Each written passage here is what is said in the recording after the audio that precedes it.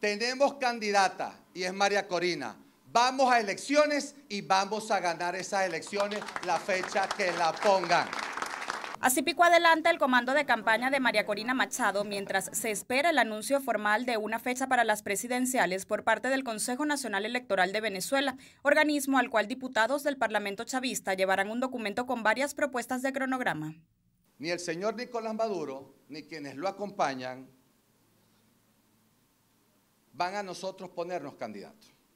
Nos pueden poner la fecha, pónganla. Cuando la pongan, ahí vamos a estar Ahí va a estar María Corina y ahí vamos a ganar la elección presidencial.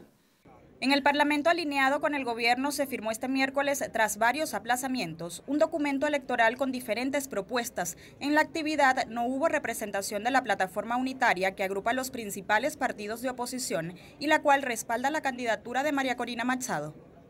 Este acuerdo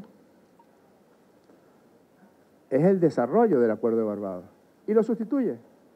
Desde 20 Venezuela exigieron que se cumplan los términos del Acuerdo de Barbados para fijar esta fecha y el cronograma definitivo, principalmente respeto a los derechos políticos de la candidata, cese de la persecución, actualización del registro electoral, auditorías y observación internacional. Lo lógico sería que se cumpla con la ley de procesos electorales, que se cumpla con el Acuerdo de Barbados, que dejaba muy claro que la elección presidencial iba a ser en el segundo semestre del año 2024 pero si incumplen con los laxos, hasta incumpliendo, ahí va a estar María Corina como candidata.